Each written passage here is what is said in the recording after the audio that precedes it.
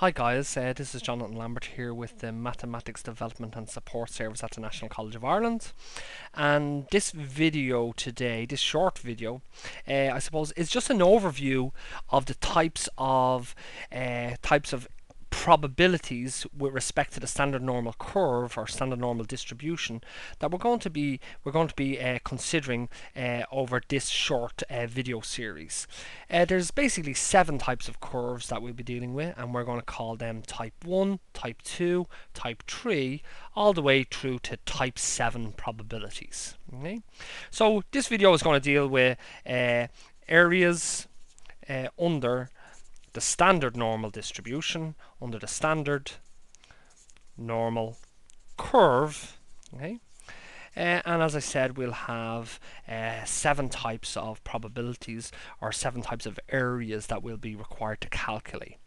So let's have a look at the type 1 areas. I suppose type 1, type 2 and type 3 will deal with positive bounds with respect to the z variable. Okay, so type 1 uh, type 1 areas, uh, type 1, uh, they're going to be uh, things like where we have to calculate the probability of observing a z-score that's less than a particular positive value.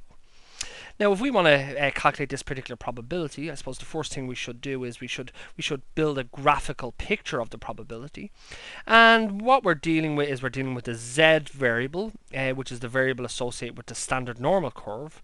So if we were to draw the uh, probability that this represents, it's a standard normal curve, so it's a bell-shaped curve centered on zero. The horizontal axis represents the z variable and we're dealing with positive uh, values. So uh, x1 is going to be a positive value. So it's going to be on the right hand side of 0 so let's say x1 is here. And what we're interested in is we're interested in calculating the probability of observing a z value that's less than x1 well, all the z values that are less than x1 are to the left-hand side of x1. So really what we need to be able to calculate is the area under the curve to the left-hand side of our positive x1 value. Okay, so we'll have a short video on type 1 areas uh, to come later on. Uh, the next type of video we're going to have is going to be dealing with what we're going to call type type 2 areas. Uh, in this case, once again, it's similar to the type 1 area, but this time we're, uh, we're interested in calculating the probability of observing a z-score that's greater than a particular positive value. Once again, that's with respect to the standard normal distribution. So it's a bell-shaped curve centered on zero, and the horizontal axis represents our z variable. So the probabilities we want are z values greater than a particular positive value, x1. So it's a positive value x1, so let's say x1 is over here somewhere. It's to the right hand side of 0. And we're interested in the probability that z is greater than x1.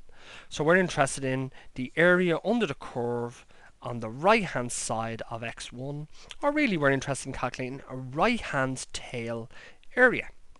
Okay, so that's type 2 probabilities. The type 3 probabilities that we're going to deal with uh, uh, are probabilities where we have a lower bound and an upper bound and both of these bounds are positive positive values. So we're interested in calculating the probability of observing a z-score that's greater than a particular value, let's call that x1, and that's less than another value, let's call that x2. Okay, once again, it's a standard normal variable, so we're going to be dealing with a standard normal curve. It's a bell-shaped curve, centered on 0. The horizontal axis represents our z variable, and x1 and x2 are two positive values. Uh, so let's say x1 is here, and let's say x2 is here. So we have to calculate the probability of observing a z value or z score between x1 and x2. So in this situation here, we're really being asked, can you tell me what the area is under the curve between x1 and x2? Okay, so that's type 1, type 2 and type 3 probabilities and you'll see many of them particular types of calculations in the assignment that's associated with this particular video series. So type 1, type 2 and type 3 simply deal with positive bounds. Okay. So let's have a look at some negative scenarios. Okay, so let's call these type let's call these type type 4 probabilities. And the type 4 probability is going to be exactly the same as the type 1 probability, uh, but in this case the bound is going to be a negative value. So what we're interested in is we're interested in calculating the probability of observing a z-score that's less than a particular negative value. Let's call it x1.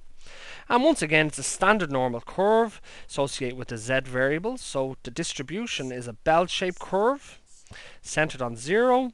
The horizontal axis represents the z variable.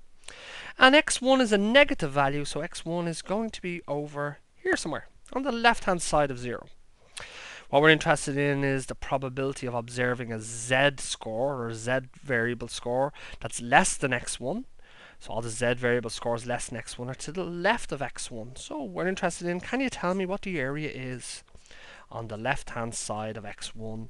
Or as we call these, this is a left hand tail calculation.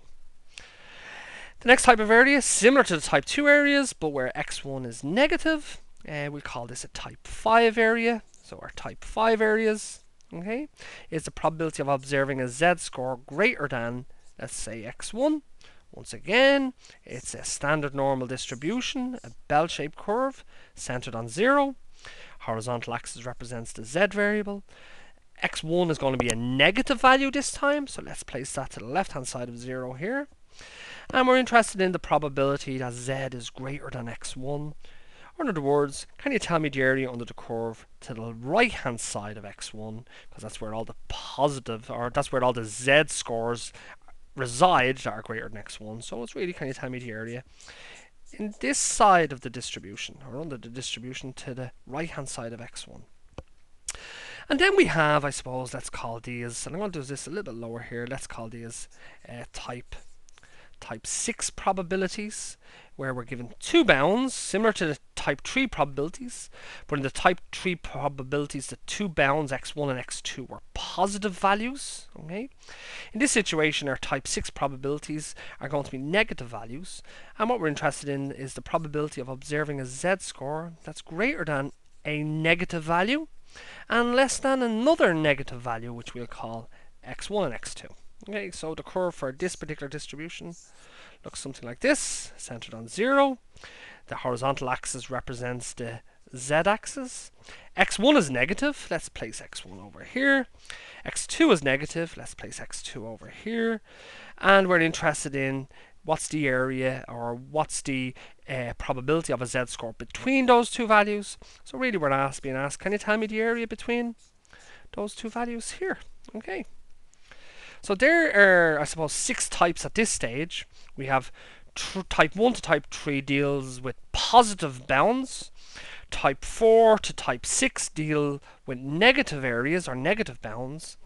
I suppose what we could do is we could bring these together, positive and negatives, and maybe create what's called, let's call it, a type 7 a type 7 probability, okay? And that would be something like what's the probability that z is greater than a particular x value, okay? Let's say that's negative, and less than another x value, let's say that's positive, okay? And the area for this or the distribution for this particular type of curve, we'll just do this a little bit smaller, would look something like this. The horizontal axis represents the z-axis. x1 is going to be negative, it's over here. x2 is going to be positive, which is over here. And we're interested in the probability of observing a z-score between those two bounds. So the calculation is, can you tell me the area between those two there? And this is our type 7 probability. And our type 7 probability, I suppose, relies, it relies on our positive calculations and it relies on our negative calculations. Okay, so that's just an overview of the seven types of videos that are going to that are going to precede uh, this particular uh, overview. Uh, and sure, I'll talk to you soon. Okay, so thanks for your time. Bye bye.